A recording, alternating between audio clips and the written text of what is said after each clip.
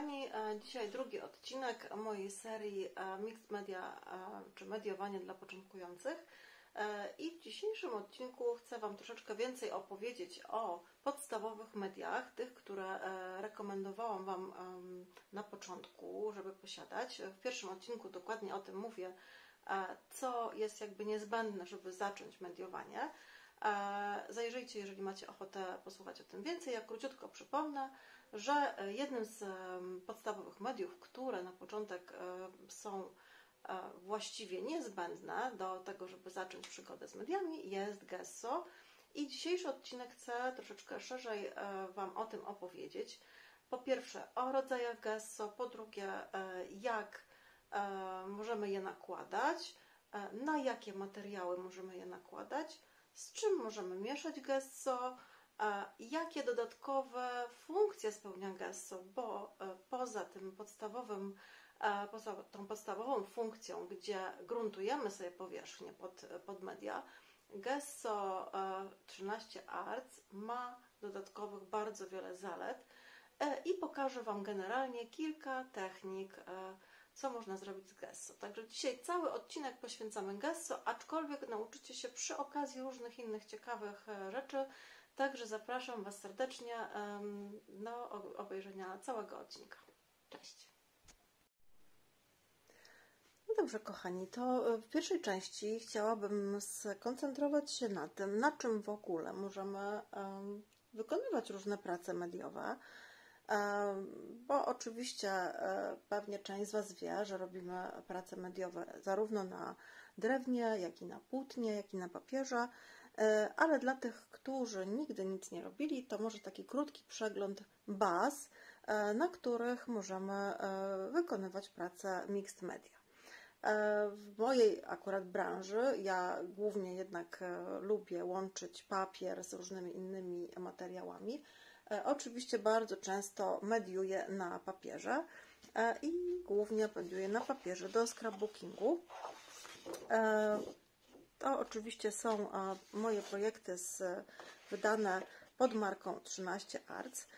Co jest istotne, te papiery od samego początku są właśnie pod te mixed media przewidziane. W związku z tym są to papiery o dobre, bardzo dobrej jakości i przede wszystkim o dużej gramaturze. Zwróćcie uwagę na to, jeżeli będziecie chcieli mediować na papierze do scrapbookingu, żeby papier miał co najmniej 250 gram. To jest w tej chwili dosyć powszechna grubość, czy gramatura papieru e, i ten papier 250 gram jest wtedy dosyć sztywny. E, jeśli robię prace bardzo mediowe, takie naprawdę teksturowe, tutaj dla przykładu mam jakiś e, starszy layout, to widzicie, że podklejam sobie e, jeden papier na drugi po to, żeby cała praca była sztywna. To teraz zobaczcie, nic z taką pracą się już nie dzieje. E, więc jeśli ta praca ma tylko mieć powiedzmy maskę nałożoną e, czy delikatne chlapnięcia, nie trzeba absolutnie dwóch warstw, natomiast tak jak tu, gdzie jest tych warstw sporo, lubię sobie ten papier zrobić niejako podwójnie. E, także pamiętajcie o tym, że e, papier do scrapbookingu dobrze by było, gdyby był 250 gram. Jeśli macie cięższy papier, to e, no wtedy na pewno te dwie warstwy papieru są niezbędne w ogóle do jakichkolwiek prac. Musicie też uważać, żeby papier Wam się nie pofalował. W związku z tym ja Wam polecam papier do scrapbookingu takiej no, dosyć mocnej i sporej gramaturze, o sporej gramaturze. E, bardzo dobry też jest papier e, przeznaczony do akwareli. E, te papiery też oczywiście są o różnej gramaturze, ale generalnie one bardzo dobrze przyjmują media, więc jeśli chcecie pracować sobie na jasnej stronie, takiej zupełnie białej i zacząć sobie kompletnie od zera tworzenie tła, to papier do akwareli jest jak najbardziej tutaj wskazany. Nie trzeba go już dodatkowo gruntować, on jest już jakby gotowy do pracy z mediami. No i na czym jeszcze możemy mediować? Oczywiście na papierze w takiej formie tektury, czyli wszelkie tekturkowe rzeczy, e, czy to będą takie typowe chipboardy, czy tak jak tutaj mam takie wycięte tagi z grubszej tekturki. E, może też być oczywiście coś w rodzaju takiej grubej, już całkiem grubej tektury, takie, to są takie coś w rodzaju takich podkładek e, o różnych kształtach. E, tu już taka, taka baza MDF powiedziałabym. W sklepach w Polsce też znajdziecie mnóstwo ciekawych baz gotowych, już wyciętych z MDF-u. Ja akurat tutaj mam jakąś snipartową bazę. No i oczywiście drewno, E, czyli tutaj macie też całe szerokie pole do popisu, pudełka, różne bazy drewniane, ramki. Tu też mam jakąś starą ramkę z recyklingu, którą można spokojnie pogesować, pomediować i na tym coś zrobić. Pewnie na tym coś jeszcze e, powstanie. E, także generalnie jeśli chodzi o bazy, tutaj właściwie e, praktycznie nie ma ograniczeń bo każdą bazę, oczywiście tu jakieś mam małe płócienko też, także płótno generalnie y, właściwie większość, możecie sobie przeczytać, ale większość dostępnych na rynku płócien, różnych, małych, dużych, jakie tylko, to są płótna już gruntowane, w związku z tym nie trzeba ich już dodatkowo zabezpieczać gessem, ale oczywiście doczytajcie na płótnie, czy to płótno już gruntowane. W zasadzie większość jest y, właśnie już, y, już zagruntowana. No oczywiście tu mamy jeszcze jakiś tamborek jako przykłady drewnianej bazy, też można spokojnie zagesować. Tu jakiś mam notesik, e, może coś na nim właśnie dzisiaj Wam przykładowo pokażę. Gesować można też metalowe elementy, ale tutaj bardziej jeśli chcemy na przykład pomalować jakąś farbą kolorową, to fajnie jest na przykład nałożyć warstwę białego gesso, żeby ten kolor był taki podbity i bardziej e, wyraźny. E, więc jak najbardziej metalowe rzeczy. E, także kochani, cała masa baz do wyboru i za chwileczkę powiem więcej na temat samego gesso. No dobrze, to jak już wiemy wszystko na temat baz, E, to teraz Wam powiem parę słów e, na temat samego gesso. Gesso zazwyczaj spotkacie w trzech odmianach. E, gesso białe, gesso przezroczyste i gesso czarne. Tak naprawdę spotyka się na rynku jeszcze jakieś gessa o innych kolorach. Widziałam złote gesso, widziałam jakieś jeszcze inne odmiany. Tak naprawdę na sam początek naszej przygody wystarczy jeden rodzaj gesso. E, ja bym stawiała na biały i tak jak mówiłam w odcinku pierwszym, można też właśnie, jeśli planujecie pracę z papierem, e, zakupić gesso e, przezroczyste. Gesso czarne do prac bardziej mediowych, dlatego że gesso czarne pokrywa nam w zasadzie praktycznie 100%, więc do papieru E, no średnio powiedzmy się nadaje, bo przykrojemy sobie cały wzór, ale oczywiście też, też można na papierze czarnym gesso pracować. E, I teraz oczywiście ja pracuję na mediach 13 e, Arts, polskiej marki. I tak jak wspominałam w odcinku pierwszym, to nasze gesso, każdy z tych rodzajów gesso jest na, oparty na, o naszą oryginalną recepturę. E, i nasze gesso od samego początku e, białe jest bardzo, bardzo gęste. E, właśnie po to, żeby można było lepiej i swobodniej pracować na papierze. I teraz może zrobimy tak, żebyście zobaczyli różne zastosowania, jak gruntować. Jedną pracę zrobię z papierem. To jest akurat papier troszeczkę cieńszy, bo w bloczkach mamy papier 200 gram ale ponieważ będę tutaj miała już podstawę taką grubą okładkę, w związku z tym ten papier spokojnie mi się tutaj nada e, i nie muszę dawać podwójnej, e, podwójnej warstwy. Tutaj pokażę Wam, jak fajnie z, naukładać sobie gestur, żeby uzyskać ciekawą teksturę. To już taka praca, powiedzmy, bez, bez papieru. E, I zagruntujemy sobie też e, zagruntujemy sobie też ten tag. E, dobrze, więc zacznijmy sobie od białego gesso. Tak, jak widzicie, to jest bardzo gęste, takie kremowe wręcz gesso. W związku z tym, co ja lubię robić, to lubię nakładać je, jeśli planuję jakąś fajną, teksturową pracę, taką, taką przestrzenną, to można sobie nałożyć za pomocą pędzelka. Możecie użyć pędzelka takiego silik silikonowego czy gumowego, jeśli macie, e, to ma taką zaletę, że właśnie łatwo można sobie raz zagruntować, a dwa zrobić ciekawą teksturę. Nakładając sobie w taki sposób, warstwować um, to gesso. Po pierwsze gruntujemy sobie właśnie to nasze, w tym przypadku taką sklejkę MDF, a przy okazji zobaczcie, możecie sobie już zrobić ciekawą teksturę. Nie musicie, ale możecie. Można oczywiście użyć zamiast e, gumowego pędzla, zwykłego e, po prostu pędzla do gruntowania. E, do gruntowania różne są pędzle polecane. Ja używam zazwyczaj takich szerszych, jeśli mam większą powierzchnię. Spotkacie nawet w opisach pędzli, które pędzle są dobre do gruntowania. Mm, tutaj rodzaj włosia czasami ma znaczenie nie do końca. Wiadomo, że te szczecinowe pędzle będą zostawiały troszkę większy ślad. E, te większe pędzle troszkę mniejsze. Także tu kompletnie od Was zależy. Ja naprawdę pokażę Wam miękkie włosie, i sztywne włosie, żebyście widzieli. Tak, czyli, czyli te, te większe pędzle, one będą lepiej rozprowadzać gesso i zostawiać mniejszy ślad po sobie. Natomiast te pędzle ze sztywniejszym włosiem, to sobie zawsze możecie sprawdzić, one będą po prostu zostawiały mm, większy ślad, tak? czyli też taką bardziej intensywną teksturę.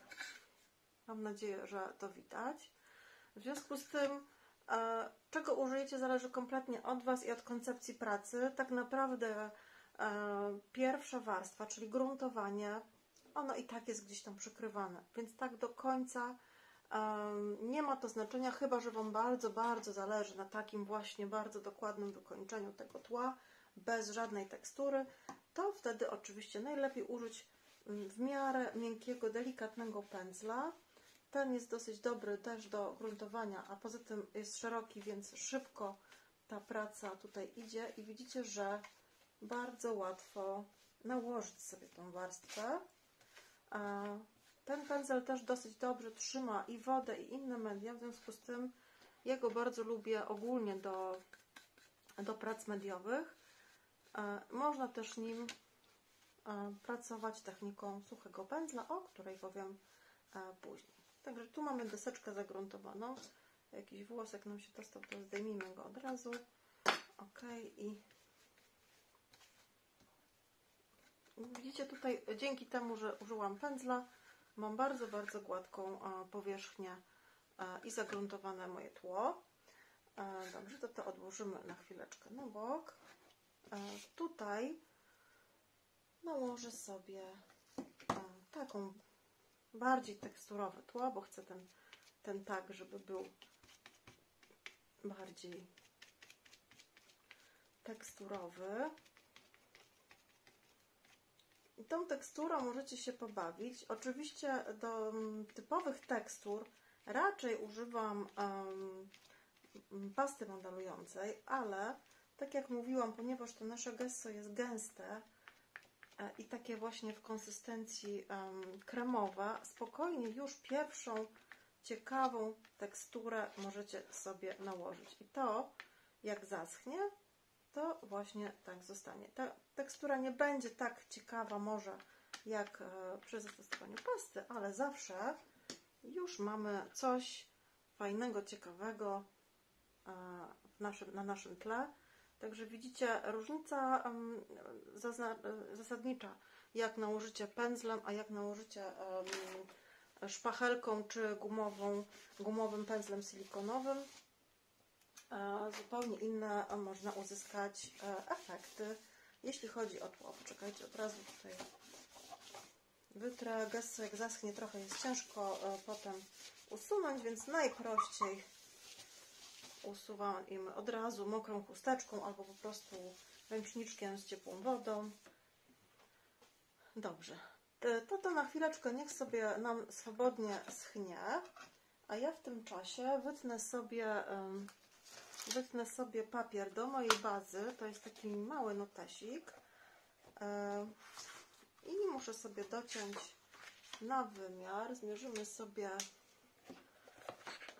Tutaj mamy 8 powiedzmy. Ja lubię zawsze sobie zostawić taki mały margines. Nie doklejam nigdy papieru do końca, więc tak sobie mierzę, żeby mieć około 4-5 mm od brzegu, więc myślę, że takie niecałe 8 cm, a w tą stronę 14 powiedzmy.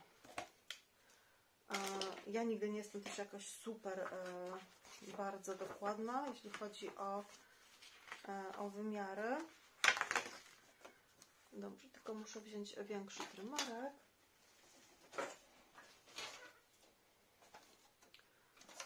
Dobrze, i przytniemy sobie tu niecałe 8.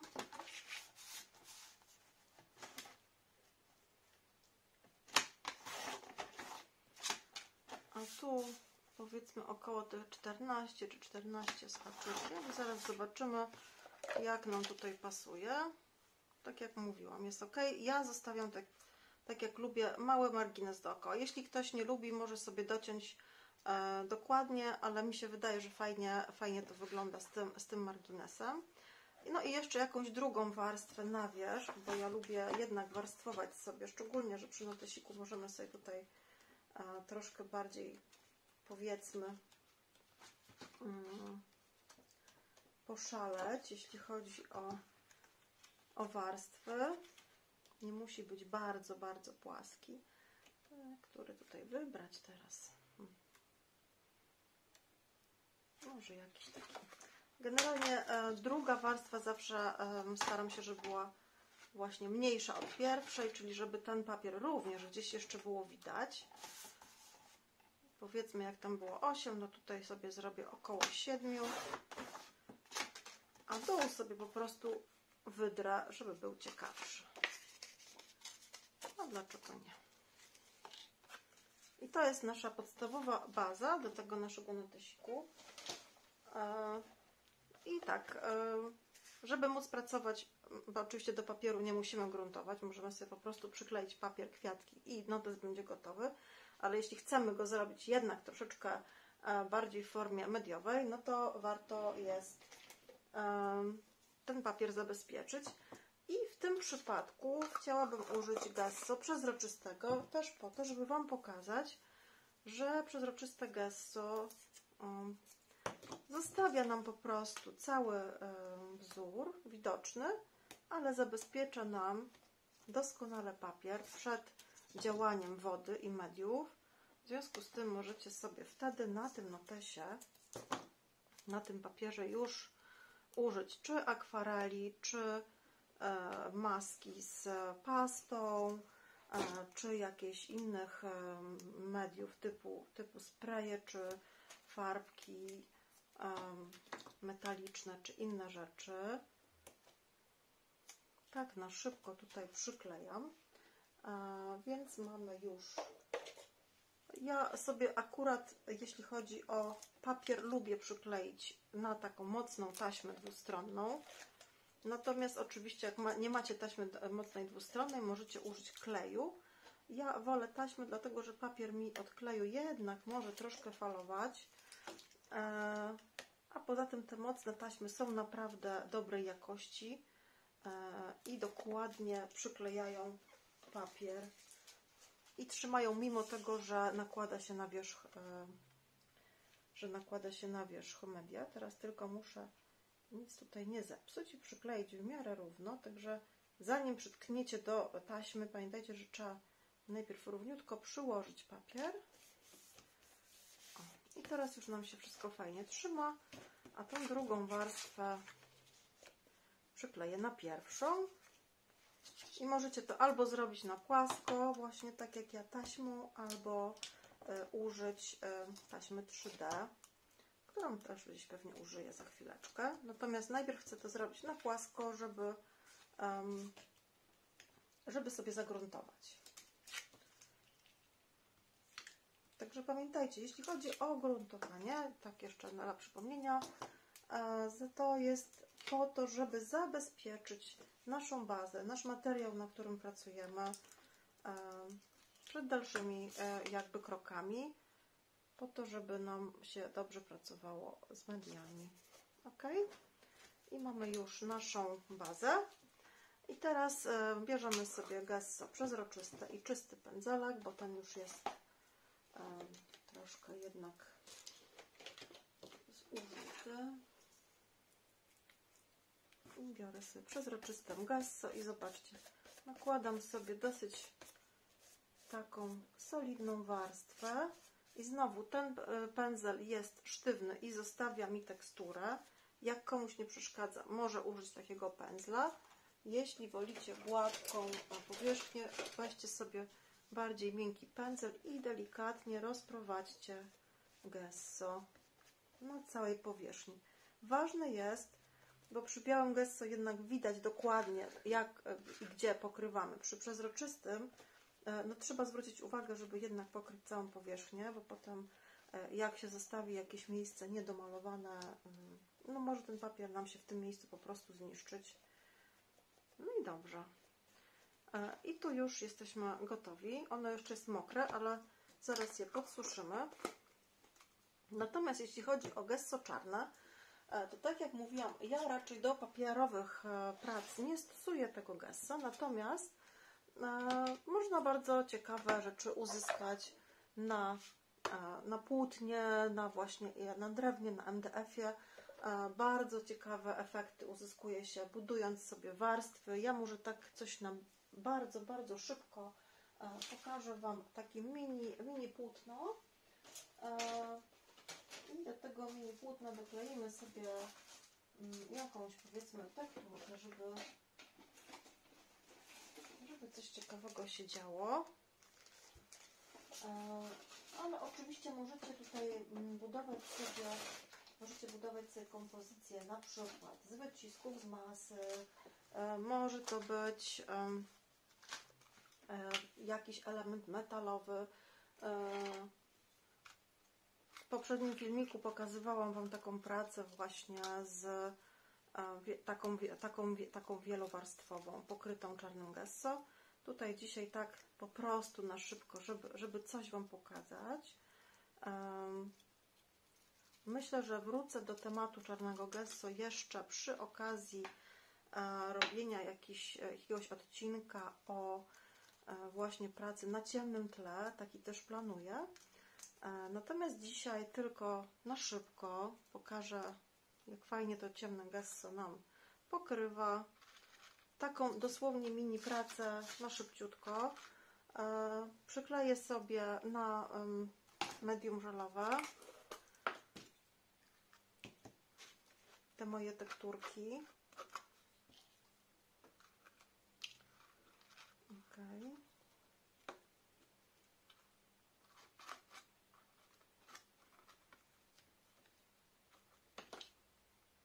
No powiedzmy coś, coś takiego na szybko. Nawet nie mam tu jakiejś przemyślanej e, kompozycji. Powiedzmy, e, bardziej mi chodzi o to, żeby pokazać Wam, że właśnie powarstwowanie sobie różnych elementów i pokrycie ich ciemny gaz stanowi świetną bazę do tego, żeby zrobić taką wielowymiarową, wielowarstwową pracę. No i powiedzmy jakiś tutaj napis do tego, chociaż tak na szybko właśnie, żeby coś było. O, ten mi się już ułamał. Poczekajcie, znajdę jakiś e, mniejszy. Albo może albo może e, jakiś wycisk z masy. One też właśnie świetnie się, e, świetnie się nadają do, do gasowania na czarno i do robienia jakąś ramkę. O, może być ramka, dlaczego nie? Też ją sobie przykleję na żel medium.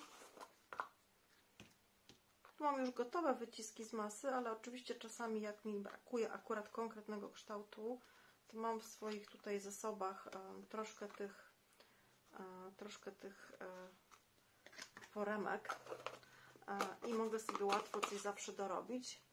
Ale tu zawsze lubię mieć już gotowe, wysuszone e, elementy. No, na przykład tyle. To, to jest zupełna, zupełna praca bez jakiegoś większego powiedzmy przeznaczenia, tylko jako jako demonstracja tego, co możecie zrobić. I tutaj też sobie na medium podkleję. I teraz zobaczcie, tutaj w tle zostało mi troszeczkę takiego żel medium. Możecie sobie je oczywiście zatrzeć e, mokrą chusteczką, ale ja lubię zostawić to żel medium, dlatego że ono daje mi fajną właśnie teksturę, która e, po wyschnięciu zostanie taka, taka właśnie warstwowa. E, mało tego, do tego mokrego żel medium mogę sobie jeszcze dosypać kuleczki. Mikrokulki, które bardzo, bardzo lubię. I one nam dodadzą też dodatkowej tekstury. Te kuleczki możecie sobie wziąć takie większe, D3 albo taki szklany w zasadzie prawie, że proszek, ale on też nam dodaje ciekawej faktury. I takie coś, żeby pomalować gesso, pamiętajcie, musicie dobrze wysuszyć. Można tą pracę po prostu odłożyć na noc do wyschnięcia, ale ja tu dzisiaj dla celów prezentacji oczywiście szybciutko podsuszę.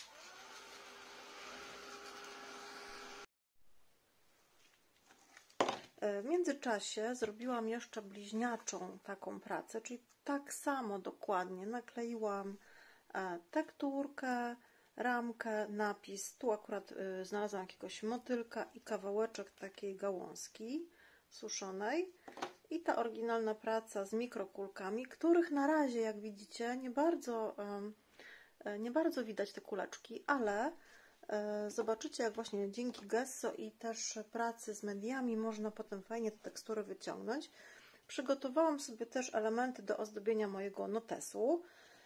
E, oczywiście, jak ktoś nie pracuje z mediami, to i tak byłby bardzo fajny notes z samym papierem i z samymi dodatkami, ale ja Wam pokażę, jak urozmaicić ten notes e, i dodać nieco właśnie koloru i troszeczkę tekstury. Można by było sobie tutaj jeszcze nałożyć maskę, ale maskę nałożę tutaj na ten tak, żeby pokazać Wam e, jak pracować. E, no i generalnie pokażę Wam jak wykończyć tę pracę i powiem troszeczkę więcej jeszcze o gesso. Dobrze, więc jak tu mamy już w miarę dobrze wysuszone, najlepiej tak jak mówię, prace, które E, kleimy na medium żelowe, zostawić na kilka godzin. E, ja tyle czasu nie mam, więc przyspieszam proces e, suszeniem. Jeśli nie macie nagrzewnicy takiej typowej do, do prac mediowych, możecie użyć suszarki do włosów albo wystawić, jeżeli jest ciepło, na przykład na słońce i to znacznie przyspieszy proces suszenia. E, natomiast takie małe prace, gdzie tych, e, gdzie tych warstw nie ma może aż tak dużo, można spokojnie e, podsuszyć właśnie suszarką czy nagrzewnicą. Nagrzewnica ma jednak troszkę wyższą temperaturę i szybciej nam dzięki temu ta warstwa wyschnie. W związku z tym to sobie tutaj podsuszyłam, odłożę na bok, a w międzyczasie będziemy sobie kończyć notesik. E, no i tak jak pamiętacie, tutaj mamy pięknie e, już zabezpieczone gesso. Zabezpieczyłam e, to gesso przezroczystym po to, żeby móc sobie dodać tutaj akwarelki. I teraz tak, jeżeli podoba Wam się ten wzór tak jak jest, no to super, możemy zacząć naklejanie. Jeśli na przykład papier jest troszeczkę dla Was za ciemny, tu właśnie wchodzi kolejna fajna rzecz, jeśli chodzi o gesso, bo można sobie tym gesso nieco to tło rozjaśnić. I teraz zobaczcie, troszeczkę tylko nakładam, nie chcę za dużo. E, czyli białym gesso możemy sobie rozbielić nieco tło. I teraz w zależności od tego, czy tego gesso nałożycie więcej, czy mniej, to ten efekt będzie e, inny. I teraz jeżeli tu na przykład stwierdzicie, o kurczę, za dużo się nałożyło, nie ma problemu, bo ponieważ już mamy zabezpieczony papier gesso przezroczystym, zobaczcie, że można łatwo nadmiar każdego medium usunąć, w tym białego gesso, póki jest mokre e, i póki jest świeże, a nawet i po wyschnięciu udałoby nam się usunąć, dlatego że właśnie już ta pierwsza warstwa jest papieru zabezpieczona. Ja chciałam sobie troszeczkę rozbielić ten papier, bo jest dla mnie troszeczkę za mocny e, i w związku z tym Nadal widać wzór, jak widzicie, ale przy cienkiej warstwie gesso ten wzór po prostu nam troszeczkę robi się mniej widoczny i taki przybledzony. Taki e, miałam tutaj e, efekt osiągnąć i taki osiągnęłam. No i teraz szybciutko e, przykleję sobie znowu na medium żelowe moje e, elementy ozdobne, które sobie wybrałam. Tutaj mam tekturkę. Możecie oczywiście do tego celu użyć też kleju typu na przykład Magic, bo on spokojnie papier Wam utrzyma. No i tutaj wybrałam sobie kilka kwiatków i gałązek, tak na, na, naprawdę na szybko.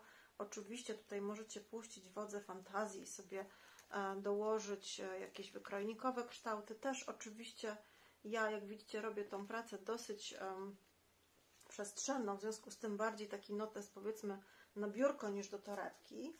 E, więc jeżeli planujecie taki notes zrobić dla kogoś czy dla siebie, który powiedzmy będzie miał chodzić z właścicielem e, i będzie wkładany, wyjmowany i tak dalej, to warto może bardziej płaską tą pracę zrobić, ale ja tutaj bardziej e, mi zależy na tym, żeby, żeby po prostu była ładna taka przestrzenna kompozycja i sobie tutaj szybciutko coś tak na szybko właśnie e, sklecimy. A tylko po to właściwie, żebyście zobaczyli, że na zagruntowanej powierzchni pięknie nam się te akwarele akurat tutaj, których zamierzam użyć, rozleją. Czyli w zasadzie będą się zachowywać podobnie jak na papierze akwarelowym. I to jest właśnie super sprawa, że przy e, takich pracach możemy sobie też użyć akwareli na zwykłym papierze skrapowym. Gdybyśmy nie zabezpieczyli tego, e, tego papieru gesso, farba by nam po prostu wsiąkła w papier, Papier by mógł się zniszczyć, podrzeć. No niestety efekt nie byłby e, zadowalający. Tak myślę, czy coś mi tu jeszcze brakuje.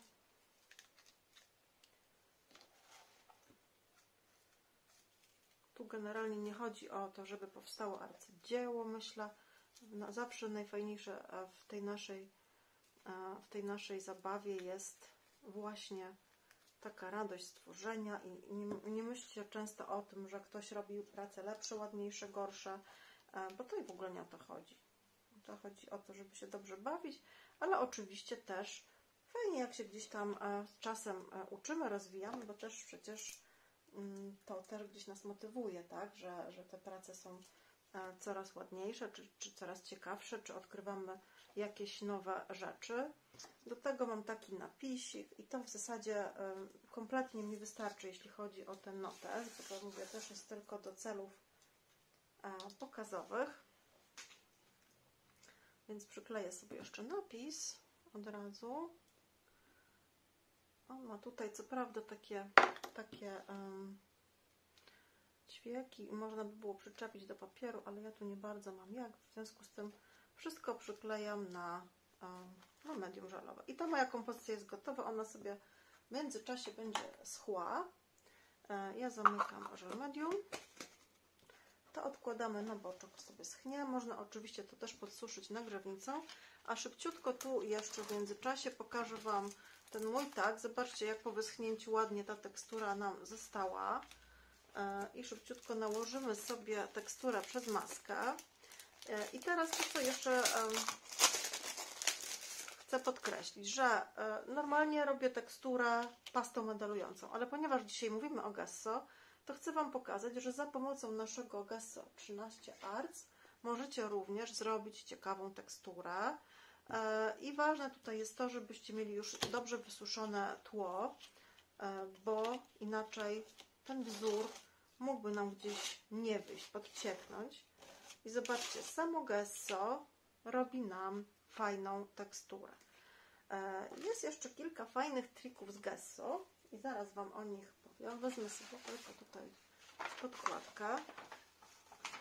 Jeżeli w jakiś sposób to gesso jest dla Was za rzadkie, oczywiście raczej tego nie przewiduję, ale gdybyście stwierdzili, że chcecie taką naprawdę gęstą, suchą pastę, to mamy taki produkt e, również pod naszą marką, który nazywa się Texture Powder, czyli taki puder do tekstury i generalnie jest to zagęszczacz do farb. To jest taki zwykły biały proszek e, i generalnie on zagęszcza każdą jedną farbę czy pastę. Natomiast w połączeniu z gesso, e, jak dodamy tego proszku troszeczkę, to ładnie nam zagęści to gesso i troszeczkę mm, wysuszy, czyli cała pasta, ona tak jakby wyciąga wodę, te, ten proszek wyciąga wodę i dzięki temu ta pasta jest po prostu sucha. Natomiast jak tego proszku damy więcej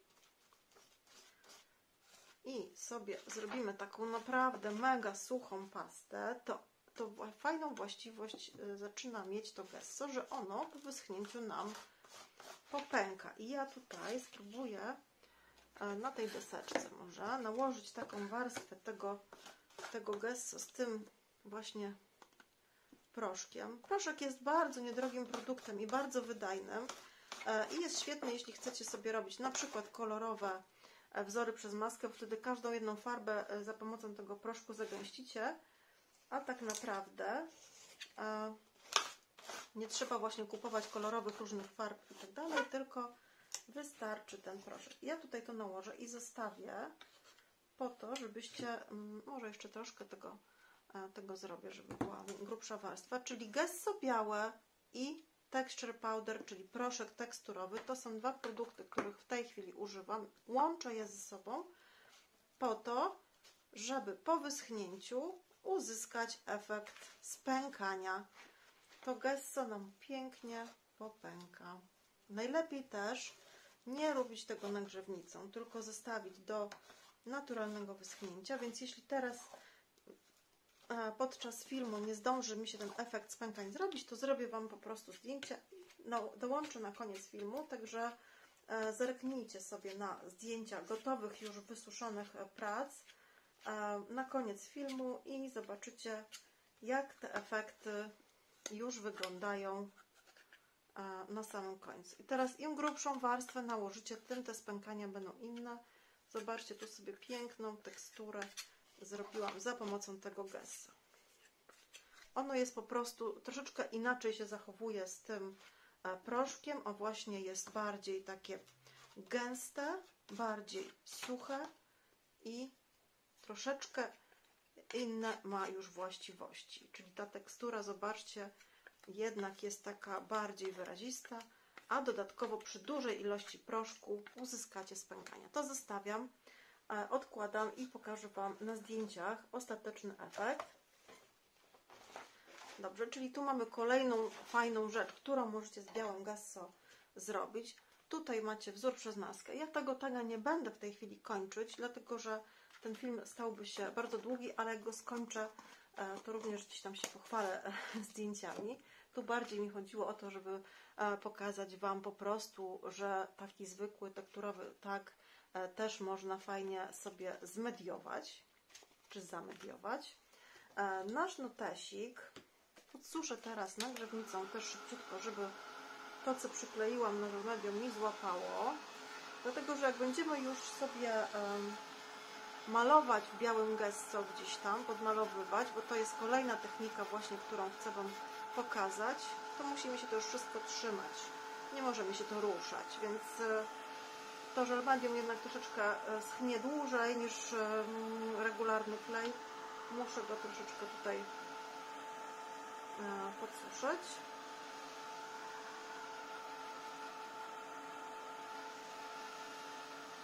Dobrze. No i teraz zobaczcie, mamy trzy fajne projekty. Bardzo szybko zrobiliśmy trzy prace tak naprawdę, a w zasadzie jeszcze tutaj dwa tła będziemy mieli gotowe e, do tego, żeby coś z nimi zrobić. Być może uda mi się to nawet jeszcze, jeszcze dzisiaj z tym coś zrobić. E, no więc teraz tak, e, akwarelki. Ja oczywiście używam naszych akwareli 13 Arts. E, o akwarelach zrobię oczywiście osobny filmik, tak jak obiecałam. Będą filmy takie e, już osobne, poświęcone danej linii. Natomiast dzisiaj tylko króciutko e, powiem Wam, że mamy dwa takie mini sety, czy mini takie zestawy. I mamy też oczywiście nasz główny zestaw 16 kolorów. Takie są całe. Tutaj mam chyba jakiś niekompletny akurat zestaw warsztatowy ale generalnie jest to 16, 16 kolorów w tym secie. O, tu je, tutaj z kolei mam gdzieś pomieszane z brokatem. Tak, nie jestem, nie jestem e, jak widzicie, e, bardzo porządna. E, natomiast Można sobie, ja tak zrobiłam, też e, jeżeli chcecie kupić sobie dużą kasetę, one też są dostępne u nas w sklepie. E, jeżeli ktoś lubi i woli metalowe, to ja na przykład przełożyłam sobie set duży i dwa sety małe i mam tutaj taki fajny zestaw w jednej palecie, to są te same farbki, tylko po prostu w, jednym, w jednej dużej palecie metalowej. Także jak ktoś woli kasetkę, jest taka opcja oczywiście sobie przełożyć, dokupić i skompletować własną e, paletę kolorystyczną. E, no dobrze, ale mi tutaj dzisiaj wystarczą nawet te dwa minisety. E, biorę sobie pędzelek do akwarelki. Też Wam polecam w nasze 13-artsowe oczywiście pędzelki. Czekajcie, bo się tutaj znowu bałagoniło. I teraz tak jak mówię o akwarelkach, będę mówić więcej osobno, ale generalnie pędzle do akwareli powinny mieć kilka dobrych własności. Przede wszystkim dobrze trzymać wodę, czyli e, tutaj to u nas oczywiście było e, głównym aspektem i możecie sobie wybrać e, różnego rodzaju kształt i wielkość tych, tych pędzli. Jeszcze tylko maskę. Pamiętajcie, jak używacie maski, żeby jednak w miarę możliwości je wyczyścić na bieżąco bo wtedy nam się nie zniszczą, nie pozatykają nam się te, te wzory.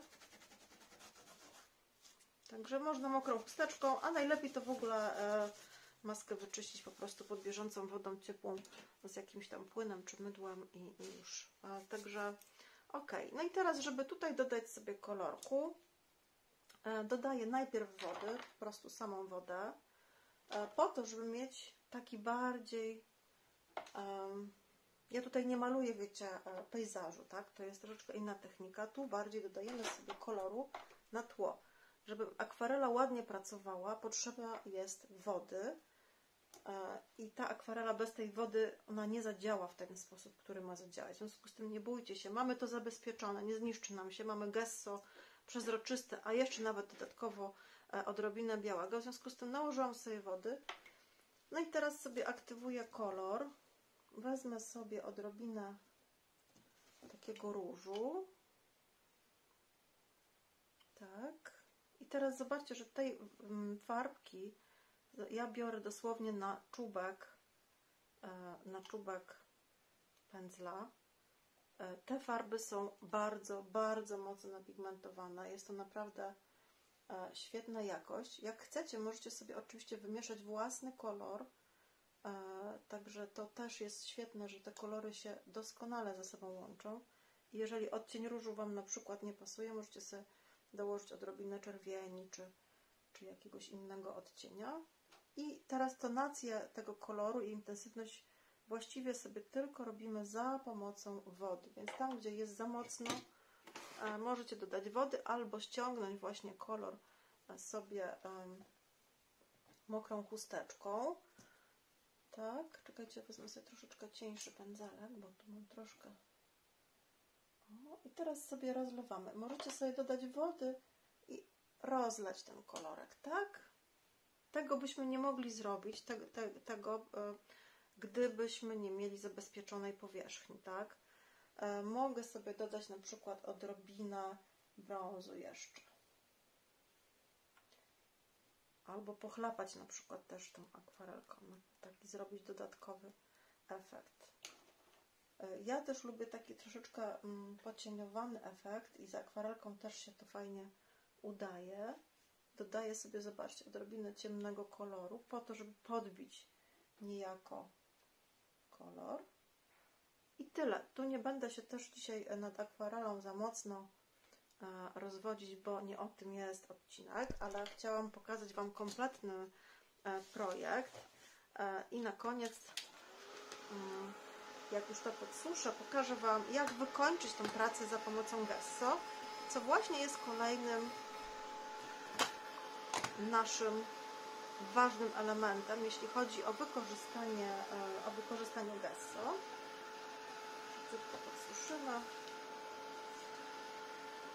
E, bo gesso właśnie oprócz tych właściwości gruntujących, oprócz tych właściwości e, teksturowych, o których Wam mówiłam, szczególnie w pomieszaniu z proszkiem e, tekst do tekstur, oprócz tych właściwości rozbielających, czy takich blendujących, mieszających kolory, jest doskonałym medium do wykończenia pracy, czyli takiego podkreślenia tekstury i za chwileczkę to pokażę Wam na przykładach tutaj moich tych mini prac.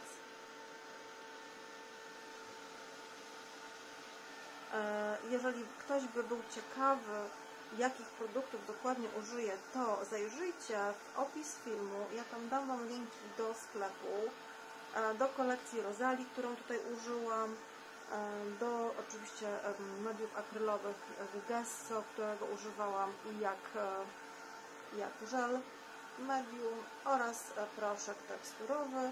Natomiast całą masę dodatków, takich jak tutaj, czy tekturek możecie znaleźć w sklepie. Macie to wszystko fajnie poukładane kategoriami. Tu już praktycznie mam chyba wszystko suche, prawie, prawie. Tak jak mówię, do suszenia żel medium tak na bieżąco przy grubszej warstwie jest trudne, e, ale myślę, że na tyle jest podsuszone już, że będę, będę w stanie pomalować e, gesso. Także pamiętajcie, że przy takich pracach wielowarstwowych e, warto zostawić przed malowaniem gesso do wyschnięcia na spokojnie właśnie przez te kilka, e, kilka godzin, e, no albo dość cierpliwie wysuszyć się na grzewnicą.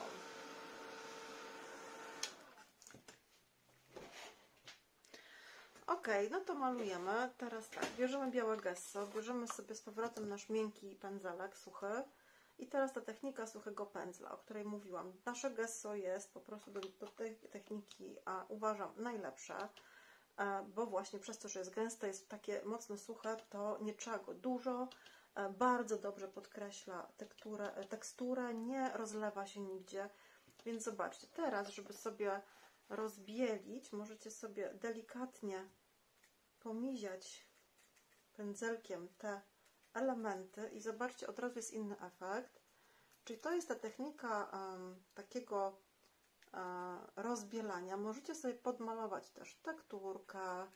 Jeżeli gdzieś nie jesteście zadowoleni z efektu, um, na przykład tej farbki e, akwarelowej, bo coś Wam nie wyszło, to jeszcze teraz jest taki etap, że możecie sobie na końcu to po prostu przegessować. Gesso jest takim też medium, ja tu mówię ratunkowym, bo jak coś nie wyjdzie, to można zagassować i zacząć od nowa, albo właśnie troszeczkę rozbielić i wtedy też zobaczcie, ten efekt jest zupełnie inny. Tak jak mówię, jeżeli ktoś chce, żeby jego papier był bardziej widoczny, tego białego gesso mógł nie nakładać w ogóle i wtedy ten, ten efekt y, byłby bardziej wyraźny, ten papier byłby bardziej widoczny. Ja po prostu bardziej e, chciałam tu Wam pokazać różne techniki, niż skupiałam się na tym, jak to ma wyglądać. No i fajnie sobie na przykład przegasować też kwiatki, czy ten e, tutaj służ. Tu nam się ładnie wszystko, czyli to gesto, zobaczcie, ono nam jakby wykoń, wykończy tą pracę w taki sposób, że połączymy sobie za jego pomocą wszystko. Oczywiście na każdym etapie jeszcze po tym gasowaniu, jak stwierdzicie, że na przykład tego koloru jest za mało, to zawsze można go jeszcze dodać. Tu jest na przykład jakaś szarość, albo właśnie ten, ten nawet e, właśnie też odrobinę tej czerni. Jeszcze sobie można tu podbić.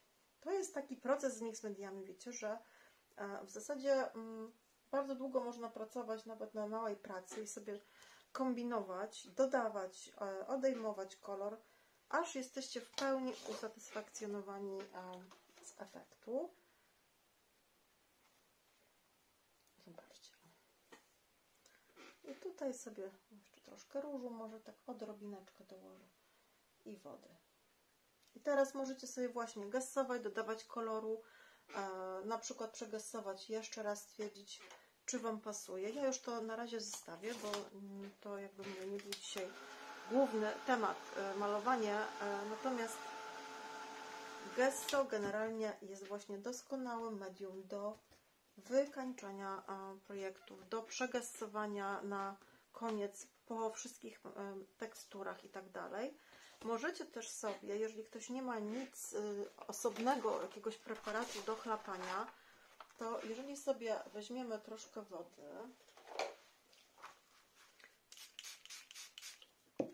i gesso możecie sobie bardzo łatwo zrobić taką białą farbkę do chlapania.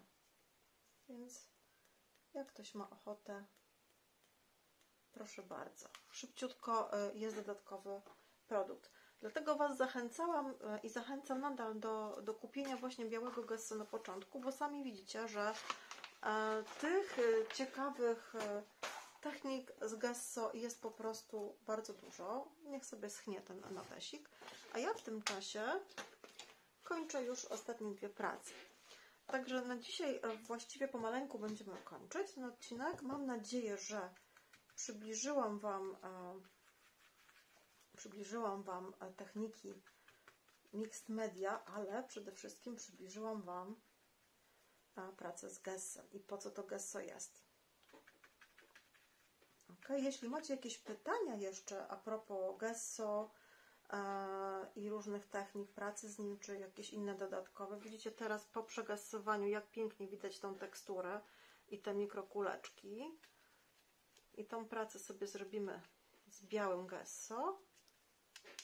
Widzicie? Teraz bardzo łatwo można dodać kolor, czy akwarelką, czy pomalować czymkolwiek innym. Zaraz zobaczymy, może jeszcze zdążę coś tutaj e, dołożyć. A drugą pracę e, malujemy sobie Malujemy sobie czarnym gasso. Jakiś może troszkę mniejszy pędzelek. Kółkę. Oczywiście jak trzeba znaleźć odpowiedni pędzel, to zawsze jest problem jest. Ok, i drugi e, projekt malujemy sobie ciemnym gesso. Pamiętajcie, żeby jak mamy takie teksturowe projekty, tym pędzlem wjechać głęboko. Jak jest coś za gęste, gesso, można sobie dołożyć odrobinę wody i dzięki temu nam pięknie wejdzie w te wszystkie tam dziurki czy otwory, które mamy pod spodem. Tak. Także tu nie ma problemu. Zawsze właśnie można sobie odrobinką wody pomóc. Jeśli nie możemy gdzieś dojechać pędzlem, Gesso jest naprawdę mocno czarne, mocno intensywne i bardzo nam się łatwo tym e, maluje te wszystkie warstwy. No dobra, już sobie przykrywamy.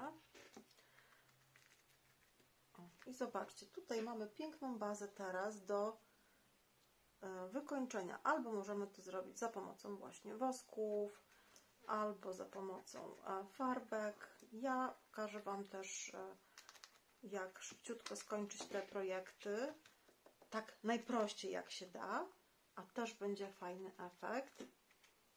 No, jeszcze potrzebuję troszkę wody, dlatego mówię, jak macie takie miejsca, gdzie trudno Wam dojechać pędzelkiem, dodajcie sobie odrobinkę wody i dzięki temu ta, ta farbka, znaczy tutaj akurat gesso, tą samą technikę można oczywiście stosować z farbkami.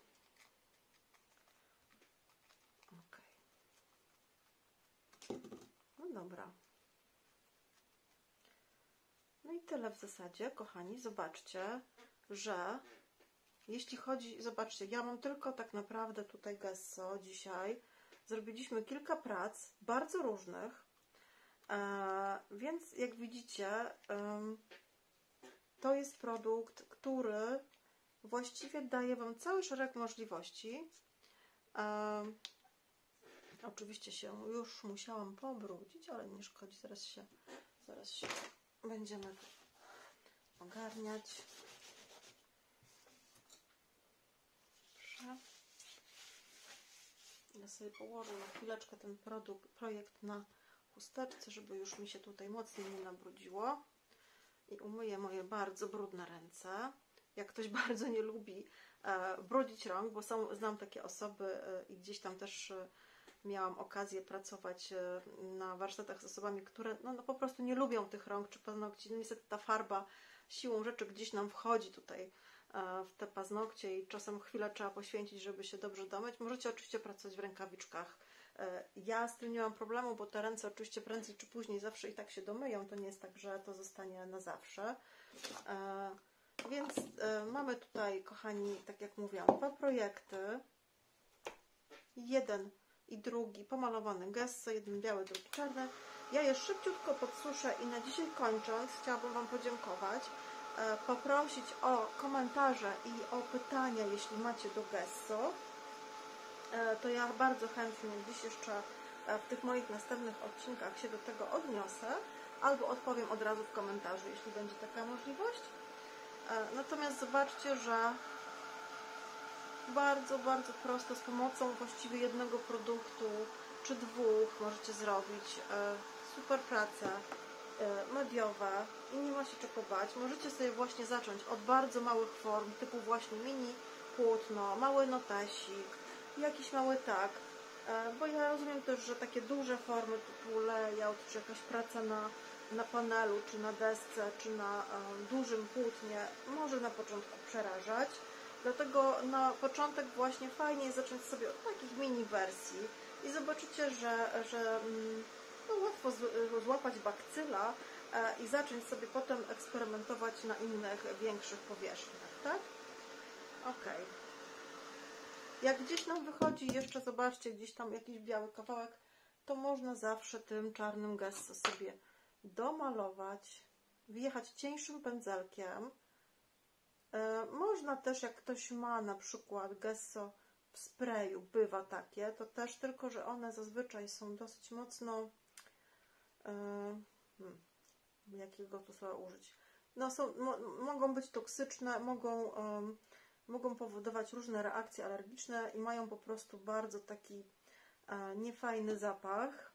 E, w związku z tym te nasze media, które są zupełnie bezwonne, e, są naprawdę bezpieczne do użycia właśnie chociażby nawet dla dzieci w zamkniętym pomieszczeniu, e, więc tutaj się żadne opary nie unoszą. Dlatego ja wolę jednak chwilkę dłużej popracować e, z tym gesso czarnym, niż, e, niż miałabym po prostu gdzieś się zatruć, czy, czy, czy ryzykować jakieś tutaj problemy oddechowe. W związku z tym, tak jak mówię, jeśli byście stosowali gesso w sprayu, róbcie to raczej na zewnątrz albo przy otwartym oknie.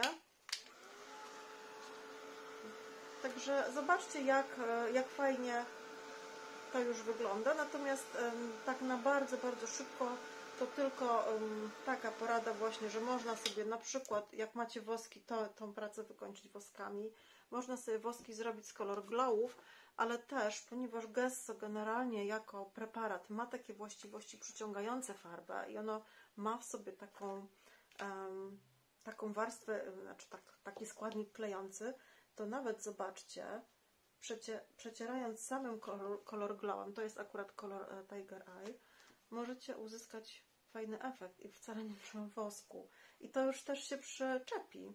I to już też, zobaczcie, można oczywiście też to zrobić suchym pędzelkiem, bo ja często robię właśnie rzeczy e, paluchami i potem się wszyscy pytają, ale zobaczcie,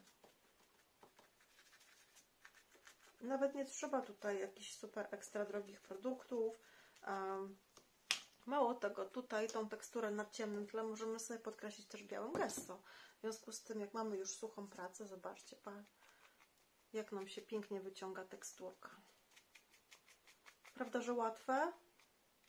Jeżeli byście się zainspirowali moim, moim filmikiem i zrobicie jakieś prace, proszę, dajcie linki e, w komentarzach. Ja naprawdę bardzo chętnie odwiedzę.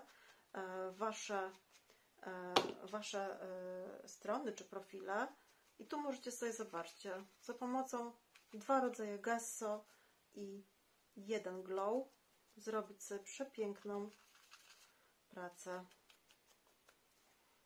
Można oczywiście tutaj to dopracować. Ja chciałam Wam pokazać, co możemy zrobić na szybko. Natomiast tutaj z tym um, białym projektem, no to oczywiście można go zostawić tak jak jest, on i tak jest fajny. A żeby dodać sobie kolor, możecie użyć akwarelki. A ja dzisiaj tak na szybko użyję sobie mgiełek, czyli coś, co mi da bardzo szybki efekt. A mgiełka dzięki temu, że, um, że ma spray. Czekajcie, bo tu mi się coś chyba akurat... Tak, bo to miał być gold. Miał być gold, to jest tak, to jest kolor ten Old Gold. E, dzięki temu, że jest w sprayu, to właśnie wchodzi mi ładnie we wszystkie te zakamarki.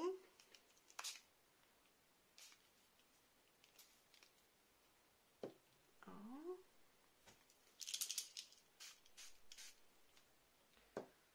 No dobra. Tam, gdzie nie chcę tej mgiełki, możecie sobie wytrzeć, przetrzeć.